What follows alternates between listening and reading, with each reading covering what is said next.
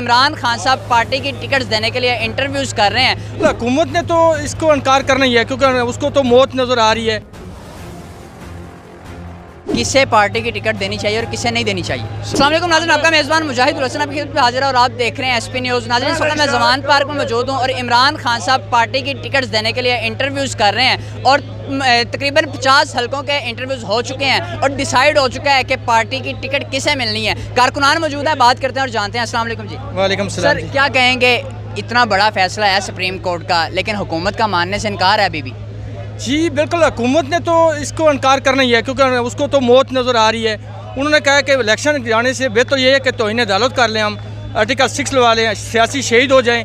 मगर पब्लिक में जाने के लिए उनके पास कोई रीज़न नहीं है। पब्लिक उनको पसंद ही नहीं करती। वो किसी भी जगह पे जाते हैं तो उनको ये भी डर है। आज भी मैं एक बयान सुन रहा था कि हमें कौन हिफाजत देगा? जब हम इलेक्शन में जाएँगे तो हमें सिक्योरिटी कौन देगा हिफाजत कौन तो आप अवामी लीडर हैं, अवाम में जाएँगे तो आप कारनामे ही ऐसे करें कि ताकि आपको सिक्योरिटी की ज़रूरत ही ना पड़े। इतना थर्ड भी ना हो, डर भी ना हो।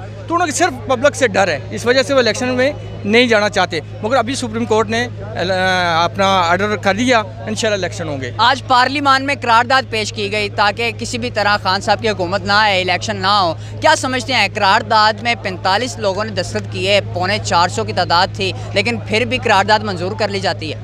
जी बिल्कुल ऐसे ही है कि बहुत कम लोगों ने ये कोरम नहीं पूरा था तो उन्होंने अपने जो है ना उन्होंने अपना व्यू दिया पॉइंट ऑफ़ व्यू दिया तो वो खान साहब ने कल कहा है कि जिन जिन लोगों ने सुप्रीम कोर्ट के खिलाफ गए उन पर हम आर्टिकल सिक्स पर जाएँगे। हम सुप्रीम कोर्ट में जाएँगे इलेक्शन कमीशन में जाएँगे तो इनशाला डिसक्वालीफाई हो जाएँगे वो इनशाला सर क्या कहेंगे आज जो सुप्रीम कोर्ट का इतना बड़ा फैसला आया और उसके बाद भी हुकूमत का मानने से इनकार है? सर उनको आवाम में जाने का कोई रीज़न ही उनके पास कोई नहीं है। सियासी मौत उनको नज़र आ रही है। इसलिए वो अपने बहाना वगैरह कर रहे हैं कि भाई हम इलेक्शन मुलतवी हो। तो इसलिए। खान साहब इंटरव्यूज़ ले रहे हैं ताकि पार्टी की टिकट दी जा सकें। क्या समझते हैं किसे पार्टी की टिकट देनी चाहिए और किसे नहीं देनी चाहिए? सर जो हमारा हल्का है पी के चालीस उसमें शहजाद गोल है वो इसका एल है। और कोई कैंडिडेट इसके अहल नहीं है। उसने ना होने के बराबर मतलब कोई अहदा ना होने के मामला में बावजूद शहजाद गोल साहब ने बहुत तरक्याती काम करवाए हैं। पार्टी के हवाले से।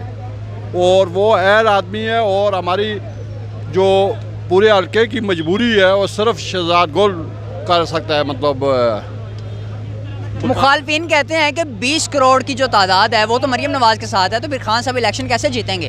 तो खान साहब भी कह रहे हैं हम सब कह रहे हैं आप भी कह रहे हैं हम भी कह रहे हैं ये 20 करोड़ नहीं 22 करोड़ अवाम आपके साथ है आप इलेक्शन में आ जाए ना हम सारे उनको दरख्वास्त कर रहे हैं उनको खींच खींच के ला रहे हैं। सुप्रीम कोर्ट भी ला रहा है, मगर उसके बावजूद वो नहीं आ रहे। जब बीस करोड़ उनके पास है तो हम बोलते हैं चौबीस करोड़ आपके पास है। आप आ जाए इलेक्शन में इलेक्शन में क्यों नहीं आते? अभी जो आपका वो देखें, तिहत्तर के आइन के जो है ना, वो पीपल्स पार्टी वाले, अब वो भी डर रहे हैं, वो भी जो है ना, वो उसको वो अभी साइड लाइन पर कर रहे हैं। पहले तो वो बोल रहे थे कि हम रखवा लें, हम आइन के रखवा लें, अभी वो भी दाएँ बाएँ की बातें करके तो इलेक्शन से वो भी फरार हो रहे हैं। मगर सारे काम जो है ना, वो नून लीग से करवा रहे हैं। और इनको बिल्कुल जरदारी ने तो नून लीग को बिल्कुल खुद ख़त्म करवा दिया और मरम नवाज़ ने खुद। बाकी तो किसी को करने की ज़रूरत ही नहीं है। अगर सुप्रीम कोर्ट का फैसला अभी भी नहीं माना जाता और दोबारा इलेक्शन की डेट वापस ले ली जाती है तो फिर क्या होगा?